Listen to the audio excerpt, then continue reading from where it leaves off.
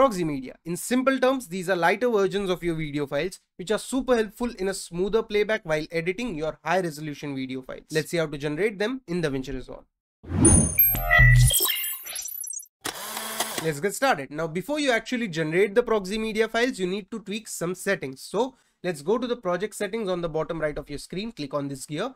In master settings, scroll below and you will see optimize media and render cache. First option is proxy media resolution. By default, it will be on choose automatically, but we don't want that. We want to tell DaVinci what resolution we want. So click on it and go to either half or quarter. I generally go with half, but if you have a weaker PC or a laptop, you can go even further below 1.8 or 116. I generally go with half.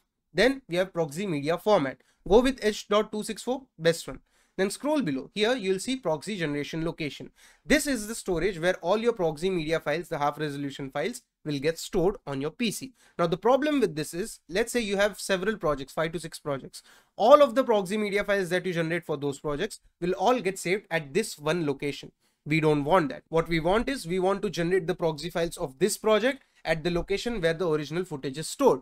So to do that, all you have to do is for now, save it then go to DaVinci Resolve on the top left of your screen and go to preferences. In this, in system, go to media storage and here by default, this option use project setting will be enabled. We don't want that. Click on proxy subfolders in media file location. What this will do is it will store the proxy media files at the location where your original footage is stored. It will create a subfolder called proxy and in that your proxy media files will be stored. So select this, hit save and your settings are done. Now let's create the actual proxy files. How to do that? Simply go to media pool, click on your video files or select multiple if you have, right click on them and select generate proxy media. Click on it, let it generate the proxy media, wait for it to generate and there we have it. The proxy media has been generated, but it has just been generated. You have not enabled it in the DaVinci Resolve. How to do that? There are two ways. First one is the older way to do it. Go to playback go to proxy handling and select prefer proxies. And as you can see in the media pool pxy has been enabled. And now if you scroll through your timeline it will be as smooth as possible. See you can see every single frame how how much ever fast you scroll it right? And then the second way is a faster way one click less above your preview screen. As you can see here pxy just click on it. And as you can see disable proxies prefer proxies prefer camera original. Same three options. You can simply select for prefer proxies. If you want to see the full resolution files click on prefer camera originals and as you can see HQ here is shown and then it will start lagging again. But then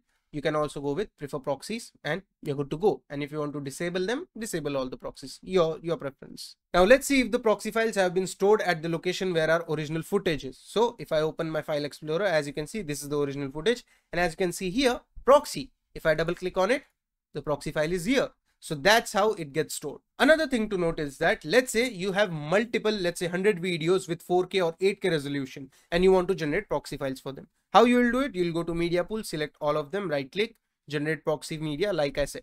But what will happen is once you click on generate proxy media, DaVinci will start generating it. But in the meanwhile, when it's generating it, you can't use DaVinci Resolve. So all that time will get wasted. We don't want that. So what you'll do is you'll simply search for Blackmagic proxy generator on your PC. It gets installed when you install DaVinci Resolve. Click enter, let it open, let it take its time. And once you open it, first you get three options. Create proxies in H.264 8-bit half resolution 1080, H.264 8-bit full resolution 1080 and H.265 10-bit 1080.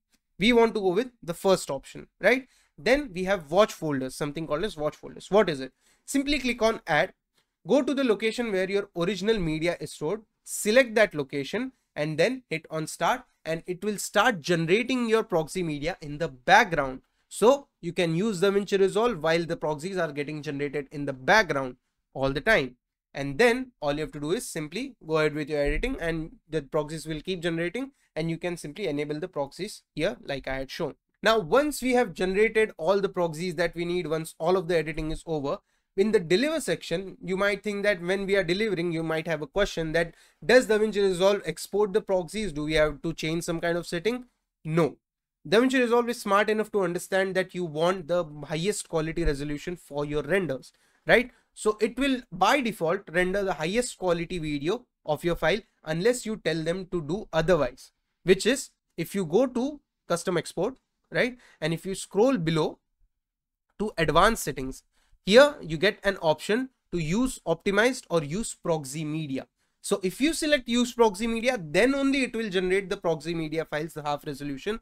Otherwise, by default, DaVinci Resolve will export the highest quality renders for you. No need to change any kind of setting. It will automatically do that. So that was the process guys. That's how you can generate proxy media files in DaVinci Resolve and edit your videos super fast by having a smoother playback. I hope this video helps you and if it does, make sure you like the video. It really helps the algorithm suggest this video to the needful people. Also share this video with your friends and consider subscribing to this channel. I post such video editing tutorials, how to take videos, tech reviews, I stream games occasionally and I post some knowledgeable and informative YouTube shorts. I also have a website where I post weekly blogs about all of the stuff that I just mentioned and I have a Gumroad shop where I sell video editing assets at a super affordable price. The links to all of these are in the description. And that brings us to the end of the video guys. Thank you for watching this video.